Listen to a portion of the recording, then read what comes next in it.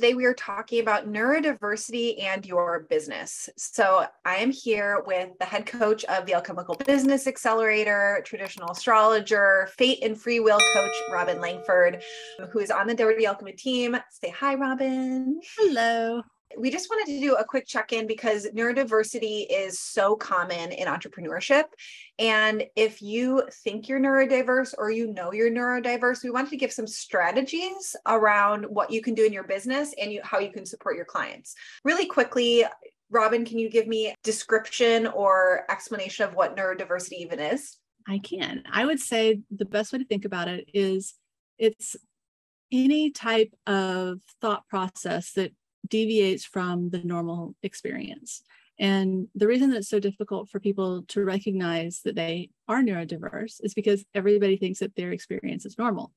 And so, what can be really useful is to do a little research into it. And um, I really like sensoryhealth.org. They have a bunch of checklists that you can go through, and it'll help you identify if you have sensory processing disorder or if you may be on the spectrum another a book that I really like is um, Divergent Mind, um, and they have a bunch of checklists also.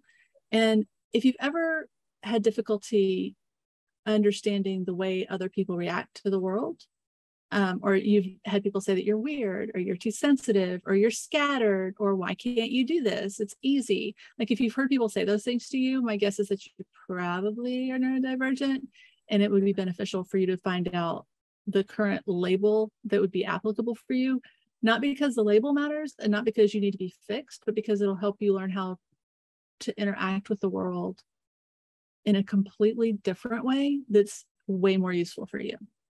Yeah. And so this is really um, uh, important to me right now, just because I was recently diagnosed with ADHD, which was actually shocking to me because my brother was very classically ADHD as a kid. And I was like, I'm definitely not ADHD. I did extremely well in school. I have a degree in physics. I got four point whatever GPAs, all the things. I have a great a business that's going well. And then I find out I'm also ADHD. And so if you are someone who had maybe depression or anxiety in the past, or you're you have to do certain things, like maybe you do really well in work, but you like can't handle normal things in life, like going to the grocery store, remembering to do your dishes, and like it might be something you want to look into. echoing what Robin said, Divergent Minds is such a great book. If you are a woman and you think you might be neurodiverse, it will blow your mind not not only in terms of how you can support yourself, also just the history of um, psychiatry and psychology and how it is wasn't done by women or on women. So why would it be supportive of women? If you know you're neurodiverse or you think you might be neurodiverse, what are some ways that people can support themselves in their businesses?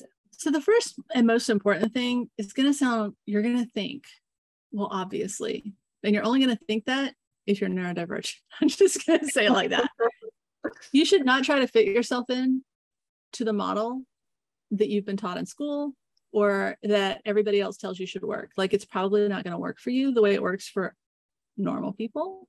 And so one of those things might be your schedule might need to be different. Like you might need to take a break to go for a walk, or you might need to take a break to take a nap because you are over peopled, or you might need to only schedule calls with other people during certain times of the day because that's when your brain is functioning in a way that makes it easier for you to do. Or you might need to only talk to two people a day, right? Or there's just a bunch of different things that you're going to know work for you and you've probably already figured out for yourself. It's they're called accommodations and you've probably already made them and people will probably have said something along the lines of, "Well, why do you do it that way?" Right? And you're going to be like, "Well, what do you mean? Because that's that's the way that it works for me. And those are the types of things that i want people to lean into. And i see so many people trying to resist it. They're like well i really wish i only had to work in the morning because that's when i feel like i can focus but i need to do blah blah blah. And i'm like okay but you own your own business and you don't really need to do blah blah blah then. You can do it at another time. Oh no everybody else does it this way. And i'm like mm, maybe they do. But that doesn't matter.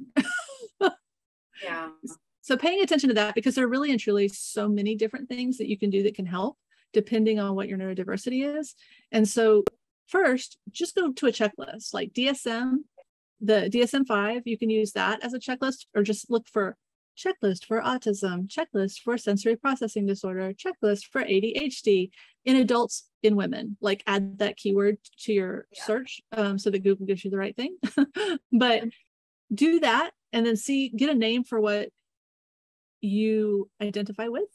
And yeah. so that you know what to search for. And then you can find really specific, actionable things that'll help you in major ways. So we just recorded a podcast, Robin and I, that goes so much more in detail on this. So definitely go check that out. That'll be at thedirtyalchemy.com slash blog. And we'll link to it in the uh, down below the video um, if you want to hear like our stories and details of all the different neurodiversities and very specific strategies that you can use. I mean, specific ones that I've found is being able to listen to things instead of watch things or read things so that I can pace around while I do it. Or I like, I have a light on right now, but I usually like work in a completely dark room. And usually, like, I have to move from situation. I'm like never actually sitting at this desk. I'm usually like on this like lounger back here or like squatting over here or like laying on the bed in the other room. And just really leaning into what you intuitively want to want to do is it's probably the, the best answer for a lot of Yeah, I mean, like some of the common ones that I I see a lot of people need are like noise canceling headphones.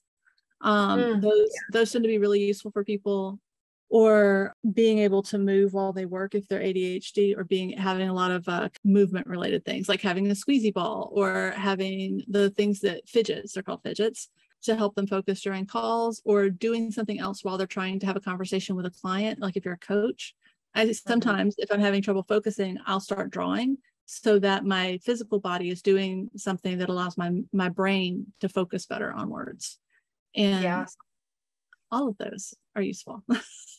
and then uh, a few things we talked about um, for supporting if if you have clients that are neurodiverse is you mentioned Robin in the in the podcast to first ask how to accommodate people, right? like just like right. ask how can I accommodate you?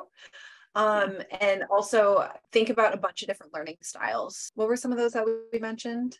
Yeah, so people are auditory, visual, or tactile learners usually. And if they're auditory learners, it means that they need to be able to hear it. If they're visual learners, it means that they need visual reference and video could be very helpful for them.